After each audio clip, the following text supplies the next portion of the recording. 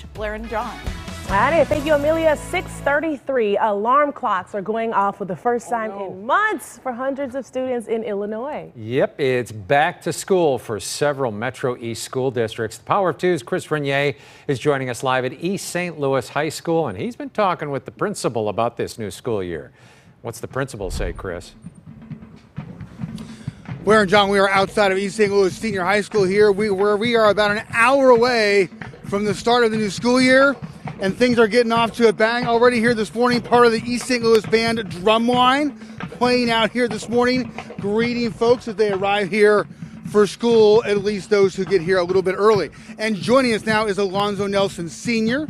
He is the principal here at East St. Louis Senior High. Alonzo, thank you very much for being with us. Appreciate you. You're welcome. Absolutely. Talk to me about the priorities going into the new school year here at East St. Louis. What, what's on top of your list here?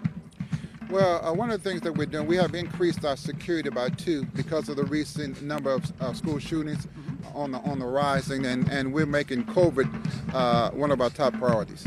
What are you doing with, with, with regard to COVID? You're obviously you're back to in person what what's the approach to COVID this year here at East St. Louis Senior High? Well, one of the things is that the the mask man, they're not mandatory, but they're highly uh, encouraging our kids to wear the mask to keep both the students and, and the staff safe here at East St. Louis Senior High School.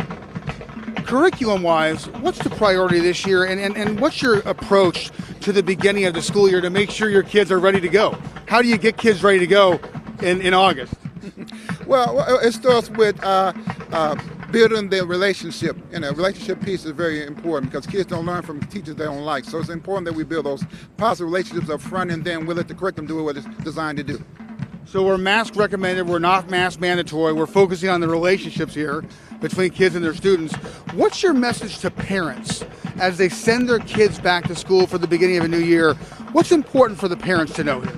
I just want the parents to know that we're doing everything that we can to make the school COVID safe. We have the uh, the temperature monitoring uh, devices at the front door, and just uh, just encourage them to uh, uh, have their children to, to wear masks to help everybody be safe.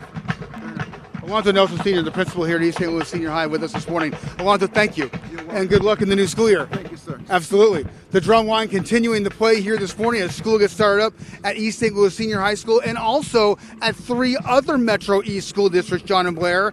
Kids in the Freeburg District, the Central School District, as well as the Mascoutah District, also going back today. Most of the Missouri schools are starting next Monday or sometime next week. For now, live in East St. Louis, I'm Chris Fernier.